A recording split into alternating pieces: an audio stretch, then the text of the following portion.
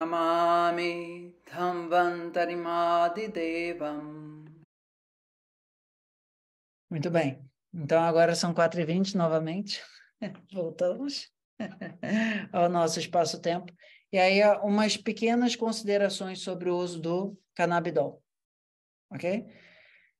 Então, a primeira questão é que, dependendo de qual óleo do cânhamo você estiver usando, vai ter só o canabidol ou vai ter outras coisas além do canabidol, menos o THC, ou vai ter todas as outras coisas e até uns 3% do THC, que é o que deixa, digamos, a gente assim meio doidão. Ok? Então, o que está sendo mais regulamentado e que está sendo mais fácil da gente usar é o tipo 1, que é o canabidol, ok? Que no meu entendimento, aí vamos lá, de Panchamahabutas, certo? Porque isso não está descrito necessariamente no Ayurveda clássico dessa forma. E esta manipulação que a gente está fazendo do cânhamo, ou da cannabis, ou o que você quiser chamar, ela é um regulador do acaixa de um, vata, de um vaio descacetado. Na minha leitura Panchamahabáltica, disso daí. Quando a pessoa está com um vaio muito comprimido, e a pessoa fica muito agitada, e a pessoa fica muito inquieta, o que o canabidol faz é aumentar a caixa da pessoa e não exatamente desacelerar o vaio. Isso é bem importante. Porque na medida em que a pessoa vai usando o canabidol, você vê que a recomendação dos, dos médicos, ou que seja, eles têm muito cuidado com a dose que você está tomando do canabidol, porque se você aumentar o acache demais para aquele vaio, você também cria um outro problema, que é falta de vaio em relação ao excesso de acache. Ok? Até aqui, tudo bem, tudo bom. Mas me parece que o canabidol ele tem um efeito cumulativo no sistema nervoso. Então, da mesma forma como a Ayurveda, em alguns casos, principalmente nos medicamentos de Rasa Shastra, de. Um, como é que é o nome disso? Metais pesados. Eles têm um tempo de você usar, e um tempo de parar, e um tempo de você ficar sem usar. A minha, a minha percepção, e eu não estou dizendo que é uma percepção definitiva, né? Uma percepção assim do que eu já vi das pessoas usando. Eu já cheguei a usar o canabidol uma outra vez, assim, só para ter uma noção. Mas, mas eu, eu senti uma, um aumento do acache significativo. Deixa eu beber, deixa eu okay. Ah, Ratos não está vendo aqui. Qual é a pergunta do canabidol mesmo? Eu, eu uso com mais frequência. Se é bom usar no outono. Então, a ideia é a seguinte. Ficar usando o canabidol diretamente um ano. Quem está perguntando? Eu acho isso arriscado. Quem ok? Tá perguntando? A Júlia perguntou isso no Telegram. Então, o que eu sugiro às pessoas é fazer um uso de dois, três meses do canabidol e não como uma coisa que as pessoas estão fazendo atualmente, que é usar o, um ano inteiro, três anos, e ficar usando canabidol de uma forma assim como. Hum, depende. Tem pessoas, gente, tá, Assim, por que que tá tomando? Tem situações que o canabidol é remédio. É o pessoal de câncer, é o pessoal com Parkinson. E dá para enumerar algumas patologias, assim, a pessoa está bem doente, e aí toma, assim, o tempo todo, Tiago. Mas é Mas, mais como analgésico. O canabidol também está sendo usado como, digamos assim, um suplemento.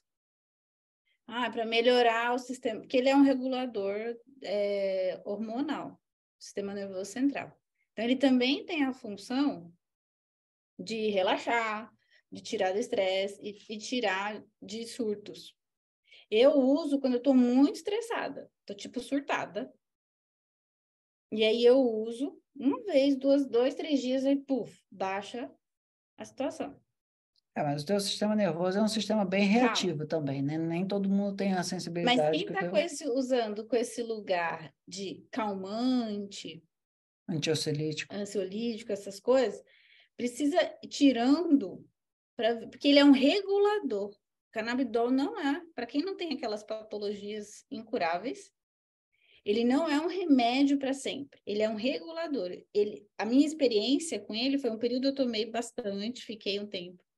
E depois eu fui diminuindo, porque eu aprendi o que ele tinha para me ensinar. Que é, era baixar ali em tal em tal momento. Então, ele é, um, ele é uma ferramenta, ele não é de uso contínuo em todos os casos. Então, quando o Thiago diz isso de dois, três meses, mas não corta do nada, vai diminuindo, aí fica um pouco sozinha, sem, sem o canabidol, e vai sentindo, vai ter hora, mesmo que não deu intervalo, vai ter hora que você vai ter que voltar. A ideia é ele e é, vem, né? O canabidol vem de uma planta de poder e ele, ele tem uma medicina de autoconhecimento. Nunca se esqueçam disso. Então, se você não está naquele lugar de patologias graves, lembre-se que o canabidol vem de uma planta de poder e é um lugar de autorregulação, de você se reequilibrar. Qual é o, o digamos assim, o problema das terapias acásticas? É que, por um lado, elas podem ser bem comportadas e te dar, digamos assim, uma regulação do vata, porque aumentou a caixa e a, a equação vai sobre a caixa deu um vata de novo dentro da, da média. Qual é o problema das terapias acásticas? As terapias acásticas podem abrir processos emocionais que estavam contidos e que você não estava muito, digamos assim, disponível para admitir. Ok? Então, todas as terapias acásticas, inclusive o canabidol, eles podem dar algum tipo de surto de a pessoa nem perceber qual é o processo emocional que ela entrou de catarse, nem viu passar no, no Top Gun, lá no, top, no timeline, e essas pessoas, elas vão atribuir ao canabidol ou qualquer outra terapia casca o surto que elas tiveram. Veja bem, aquilo dali já estava dentro de você, ok? Mas sempre que você está usando terapias acásticas, seja elas através de plantas de poder, seja através do que seja, é importante que você invoque alguma egrégora, invoque alguma santidade, invoque algum tipo de guiança espiritual para o que vai ser descomprimido ali ser dentro do seu campo de, de manobra. E se não, você impedir isso à erva, por mais que o canabidol já não esteja mais na forma de uma erva explícita, pedir isso a aquele processo de cura, de que eu possa trazer do me, da minha, digamos assim, dos meus registros acásticos apenas aquilo que eu tenho capacidade de, de terapeutizar nesse momento. Ok? Porque essas terapias, de um ponto de vista mais xamânico, elas deveriam ser feitas com cânticos, deveriam ser feitas com rezas, deveria ser feito na presença de um guia espiritual, para que esses esses lugares de instabilidade acásticos, esse guia ele pudesse falar não, não vamos tocar nisso daqui agora, isso daqui está muito instável, a pessoa está começando a ficar muito surtada e etc. O objetivo dali não é fazer festinha de ficar surtado com canabidol ou qualquer coisa que seja. Ok? Então, é tanto importante a forma como você vai sair do processo de terapia cástica, mas também é muito importante na velocidade que você vai entrar. Se você nunca usou esse tipo de terapia e a pessoa já te recomenda uma dose normal, pode ser que você tenha um, uma entrada nessa dimensão de cura muito apressada e muito intensa demais ok? As pessoas tentam transformar isso num processo científico, o que tem alguma coisa de ciência ali, é claro, mas isso acaba tendo essas, essas coisas que a ciência não consegue, hum, digamos assim, elaborar, que são os processos metafísicos ou acásticos dentro desses processos de cura. Ok? Então, a minha sugestão é: se você é católico, que seja que reze um Ave, um Ave Maria antes de usar um canabidol. Se você é uma pessoa mais da Pachamama ou do Ho'oponopono, faça algum tipo de invocação. Que essa terapia, que é uma terapia que pode abrir setores e porões psíquicos que eu talvez não tenha, é, digamos assim, maturidade para lidar, isso seja aberto apenas o que é apropriado para esse momento de cura. O resto, deixa eu estar com algum outro guia, algum outro xamã, algum outro protetor, alguma outra menestrel e etc.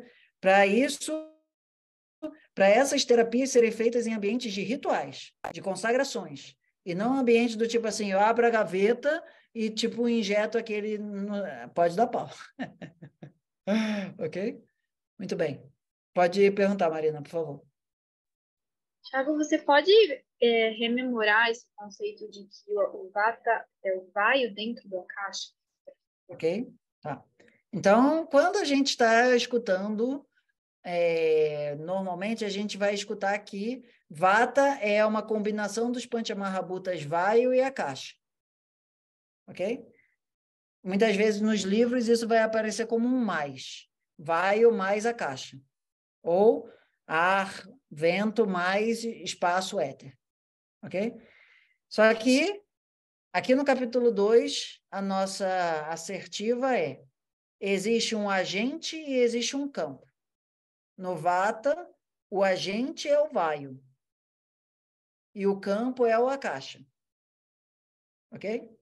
Então, por exemplo, se eu tenho um carro de Fórmula 1 andando numa pista de kart, eu tenho um excesso de potência de vaio num Akasha que não comporta aquela potência de vaio.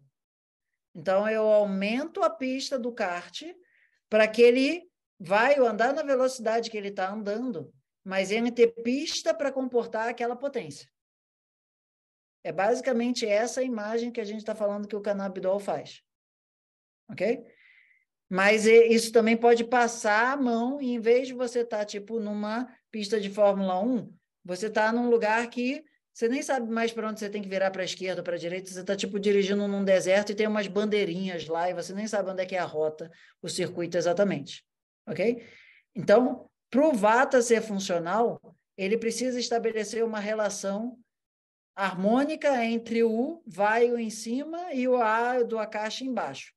Vamos dizer que a relação funcional disso é de um, como uma unidade abstrata. Se fica muito maior do que um, é porque o vaio está muito grande. Se fica muito menor do que um, é porque o Akasha está muito grande. Entendeu, Marina? A parte do um, não.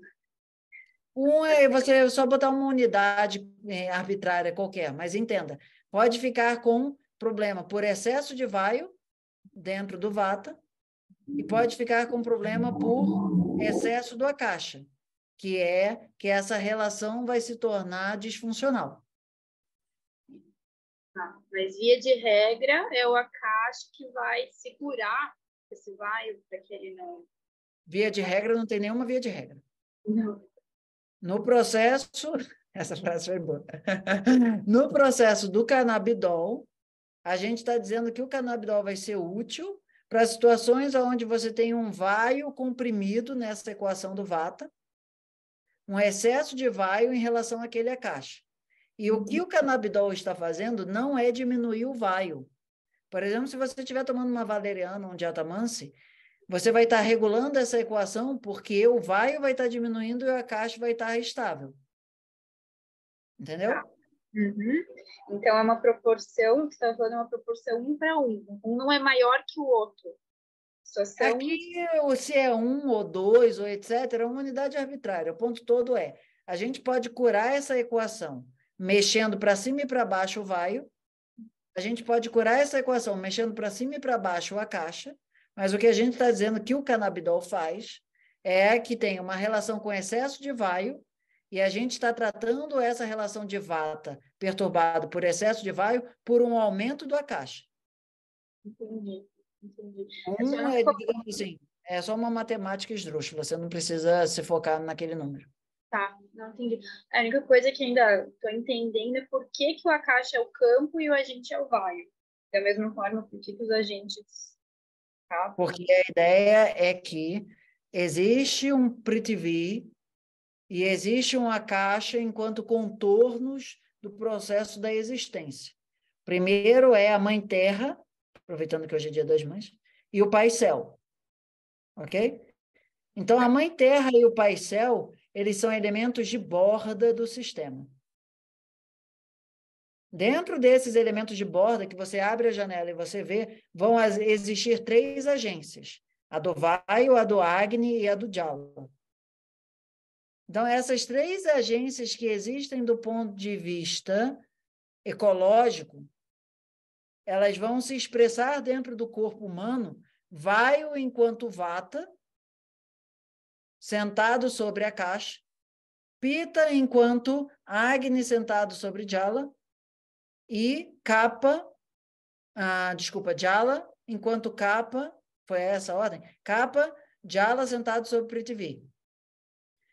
Vai o Agni e Jala são os três Mahabutas de agência, porque fora do corpo eles assim também são. E Prithvi e a caixa são, eh, são Mahabutas de contorno. Ah, entendi. Obrigada. Imagina que você tenta fazer um sanduíche, ok?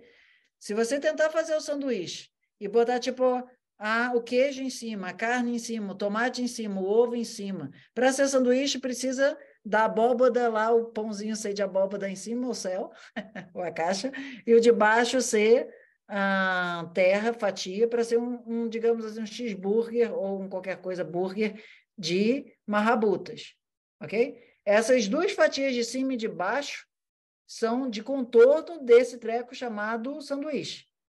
E o miolo é o vai, o agni e o jala. Tá. Só para lembrar, o que significa pancha e o que significa mahabhuta? Pancha significa cinco. Mahabhuta são gloriosos, gigantescos, fenomenais, estupendos princípios de explicação, princípios da, da manifestação material. Então, da mesma forma como na escola você aprende três leis de Newton, de Newton, aqui você aprende cinco leis da matéria: a caixa, Vayu, Agni, Jala e Prithvi. Foi? Obrigada, foi. Obrigada. Alguma consideração sobre isso? Podemos fechar? Sim? Afinal de contas, já. Agora, de novo, são 4h20. Tivemos 3, 4 e 20 hoje no nosso espaço a caixa. Certo?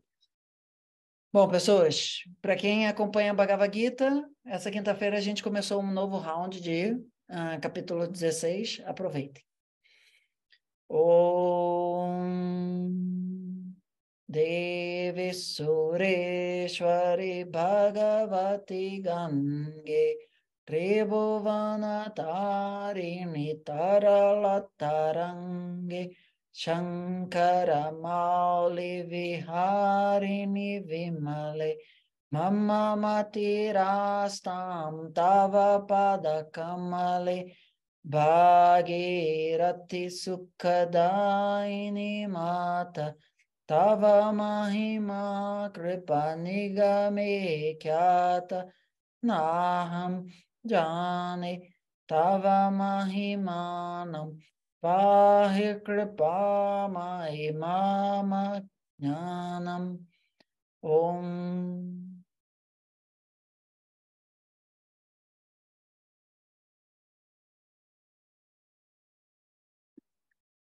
Quer estudar conosco? Se liga aí na descrição e manda um namastê. Om Namo Bhagavate Vasudevaya Dhamantaraye अन्तरये अमृतकलशहस्ताय सर्वामाया विनाशनाय